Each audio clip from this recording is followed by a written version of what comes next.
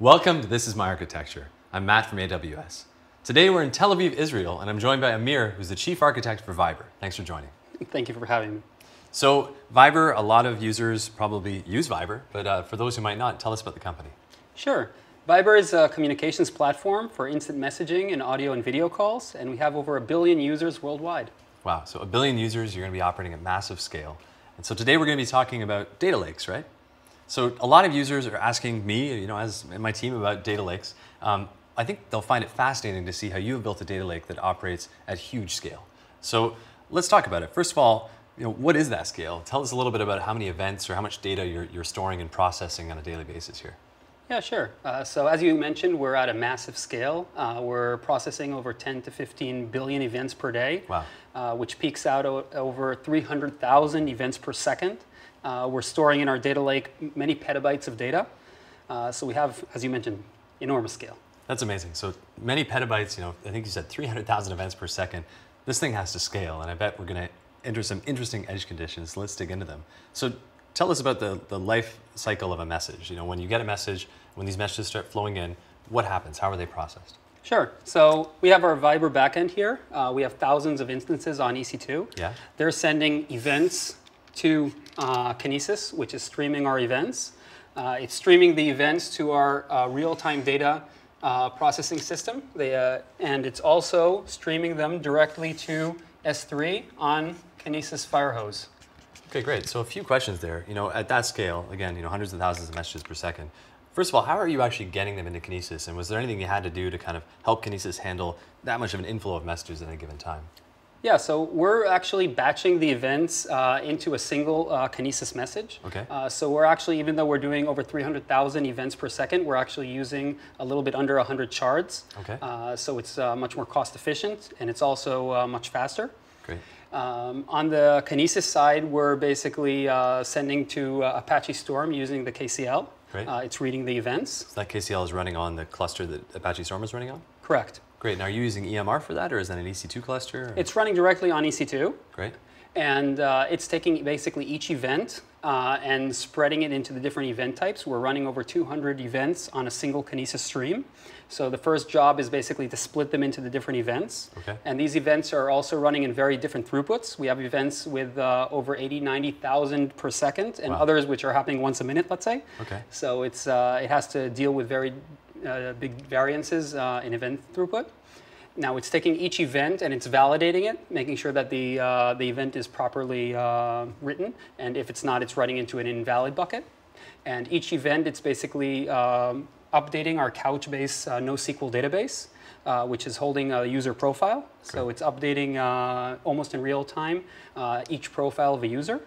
Uh, the second uh, use case here for real-time events is our spam uh, system, which is running events into another Kinesis uh, stream, which is then sending the events to um, serverless Lambda functions, which are processing these events. Yeah. And uh, for each event, it's basically running across machine learning models that we built for spam detection. Mm -hmm. And if we detect a spammer, we're basically sending an event back to our Viber backend to basically uh, block that user uh, so it's stopping to send spam within seconds that it started. That's amazing. So that's actually a really interesting real-time use case, you know, sort of spam detection and spam, or stopping the spammers.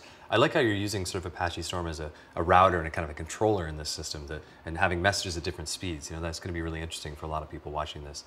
But you're, you're moving the messages in a few ways. You're moving messages, you mentioned using the KCL into Apache Storm cluster for processing and sort of routing to different, uh, whether it's your real-time system or other use cases. You're also using Firehose. So just tell us a little bit more about why and how you're using Firehose to put the messages in S3.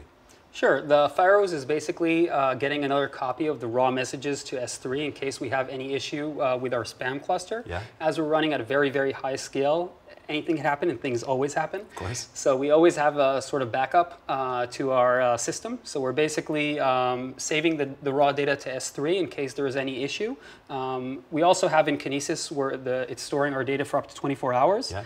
Uh, we actually um, uh, checked of increasing that to seven days, but it's actually more cost effective to use Kinesis FireHose to S3 and leave the data even for two weeks. It's much cheaper than increasing the, uh, the time that we're storing the data into Kinesis. So that's interesting. So Kinesis FireHose, though, is really great for getting data from you know, Kinesis into S3, but because you're using S3 as sort of your, your backup for this data, instead of increasing the retention to seven days, there's no FireHose the other way, is there? So how, how are you actually getting the data if you had to do that back into your Kinesis stream?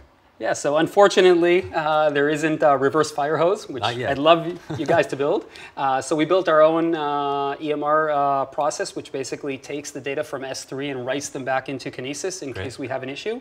Um, and that's basically our backup uh, scenario. Great. You know, like our CTO Werner Vogel says all the time, and I like to quote him, everything fails all the time. So you have to be ready yes. for it, right? Okay, so your data is sitting here in S3. Now again, I have to ask, I'm gonna sound like a broken record, but at that kind of scale, you know, 300,000 events per second, um, you have to be careful about how you work with S3. And I know you're doing some batching, but even with batching at that scale, are you, you know, how are you distributing, how are you taking advantage or at least maintaining consistent throughput and performance out of S3? Yeah, so uh, basically, um, we're not writing every event to a file in S3, obviously. We're okay. batching them into uh, files. Initially, we wanted to batch them into files which are at least 100 megabytes big, and we wanted to use the Parquet uh, file format, which is a columnar uh, format, which is very effective for querying later yeah. on.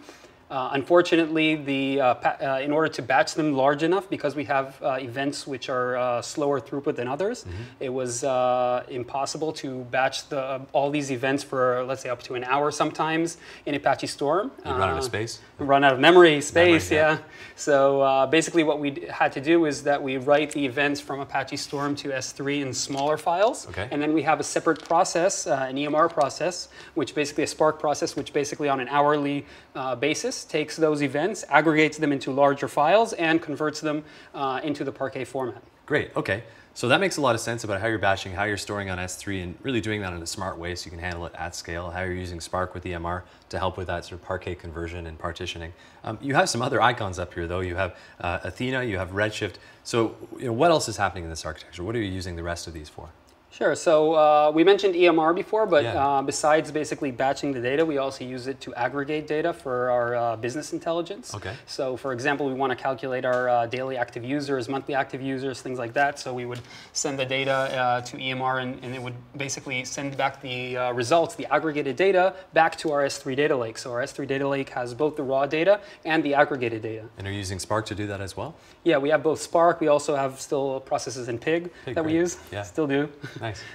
Um, the next piece, uh, Athena.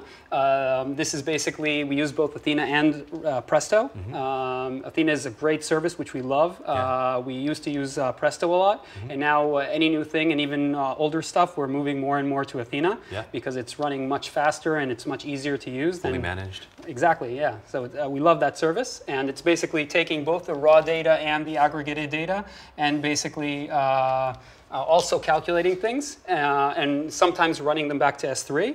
And other things, we use the results directly into our uh, business intelligence tools, um, such as Tableau and things like that. Uh, and the final icon here, Redshift, uh, which we use both Redshift and Aurora. Mm -hmm. um, we use it both for data warehousing, so we take some of the data we load from S3 directly to Redshift. And other times we use uh, Aurora, for example, to take the aggregated data. Most of the business intelligence tools uh, sure. can't work at scales of petabytes. Yeah. Uh, so we basically have to uh, aggregate all of this data down, and then we put them into uh, into tables, uh, which are used for our uh, reporting tools. Okay, so you have a you of Redshift subsets of the data, or you know aggregations of the data that you can then attach to Tableau or whatever BI tools you're using, right? Yeah, exactly. Okay, interesting. Well, I love how you're using a number of different data stores, whether it's Couchbase NoSQL on EC2, you know S3 obviously is your canonical data store in this in this uh, data lake. You know Redshift, Athena, EMR, Kinesis. You know you're really taking advantage of the full breadth of not only AWS native services but our partners as well. So it's really great to see. I also like the mix of sort of real-time data processing and batch processing for the different use cases, sort of in a single architecture. Uh, it's very interesting architecture, and, and thanks for sharing it with us. Thank you for having me. And thanks for watching. This is my architecture.